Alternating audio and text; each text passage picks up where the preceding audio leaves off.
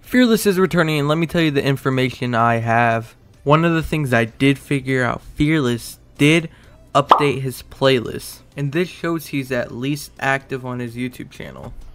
And I did see a comment pointing out that Fearless did delete two videos off of his channel. And to prove that he deleted two videos off of his channel, I have a photo from two months ago and a photo from now.